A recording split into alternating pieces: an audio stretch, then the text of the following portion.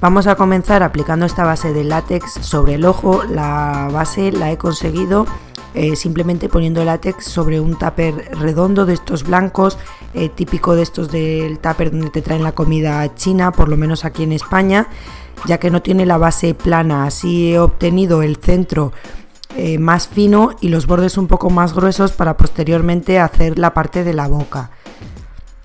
Comenzamos dibujándolo. Yo he hecho el ojo todo entero negro.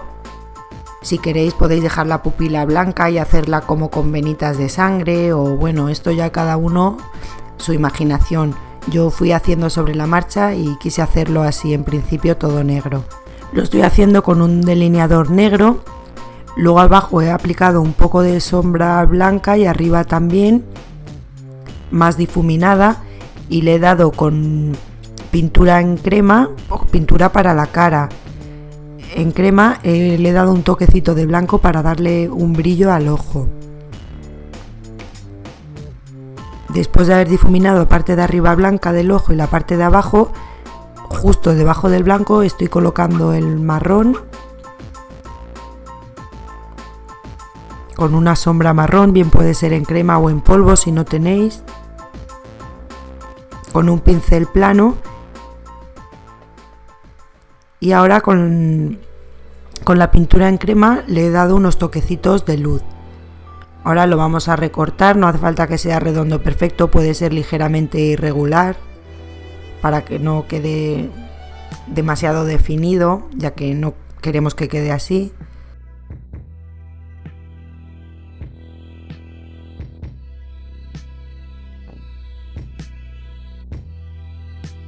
Nos colocamos un algodón en el ojo para protegerlo y probamos que sea la medida, lo colocamos y vamos a pasar antes de pegarlo con las cejas.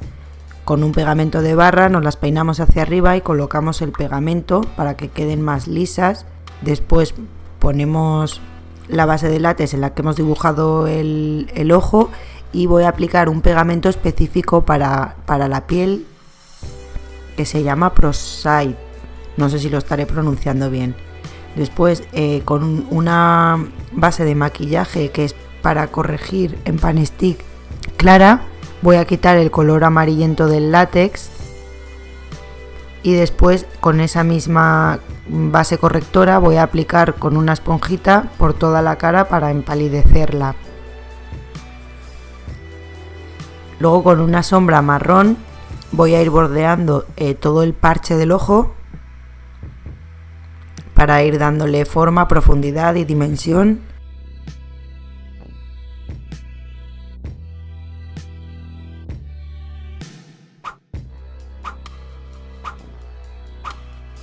Y después con pintura en crema también para, para la cara he mezclado el rojo y el amarillo para hacer un color carne. Aquí se me paró la cámara y ya me había hecho la parte de, la prótesis de arriba que lo hice con los bordes que sobraron de hacer el ojo y con otro trocito que me sobró también he hecho en el ojo como una especie de hueso de la ceja.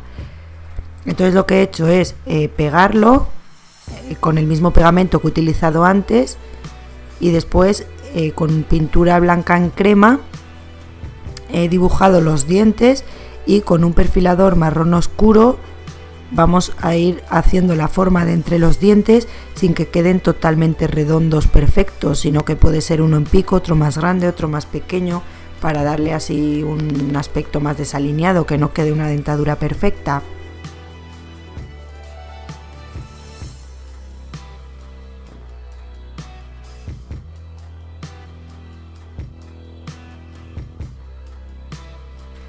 Con sombra marrón vamos a pintar el resto, excepto la parte de abajo que vamos a hacer un poco como si fuera el labio, para dar profundidad en esta zona. Y la parte de abajo primero estoy poniendo naranja y amarillo para que quede un color carne y después a toques le añado rojo, azul, para que quede así diferentes colores, que no quede un único color para que quede más real.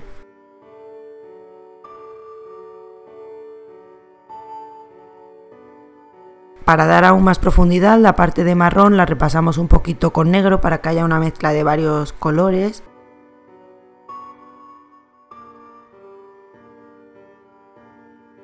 Y también la parte de los labios para que parezca que la boca está abierta. Aquí sí que hay que poner bastante cantidad de negro y después lo podemos sellar con una sombra negra que yo no lo hice y después se nota cómo se va yendo el color negro. Entonces para que dé ahí bastante profundidad eh, ponemos el, el maquillaje en crema negro y después con una sombra para que se quede más fijo.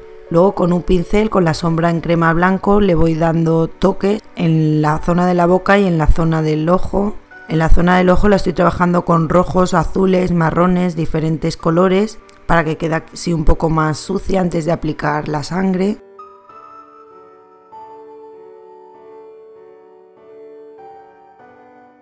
Y luego también unos toques eh, con blanco para darle un poco de luz.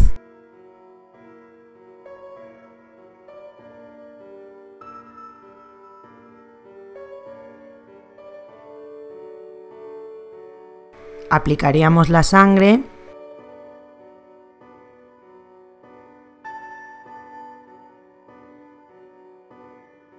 La zona de los bordes de la boca y del ojo que he hecho con marrón y negro la difuminamos hacia afuera para que no quede una raya. En la boca vamos a poner también la sangre.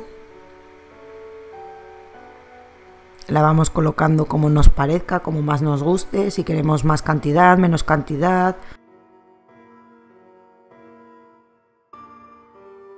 Y aquí estoy difuminando un poco los bordes para que no se noten líneas y la boca esté como enrojecida, amoratada, como que esté la piel dañada de estar rasgada. En la zona de los labios también voy a poner un poco de sangre. Una vez tenemos ya colocadas y maquilladas las prótesis, pasamos con el otro lado de la cara. Voy a utilizar un lápiz blanco para la línea de agua inferior del ojo y después voy a utilizar un negro en crema para el párpado. Voy a marcar también un poco las arrugas, como de la zona entre las cejas y también las arrugas de la frente. Esto con un tono marrón y difuminado. Y luego con un pincel plano biselado con colores eh, mezclando rojo, azul, marrón, marrón, más rojo y azul. Vamos a ir haciendo como venas por toda la, por toda la cara. Hacemos así ramificaciones con diferentes formas. Como veis tienen diferentes colores para que quede más real, sobre todo rojo, azul y marrón.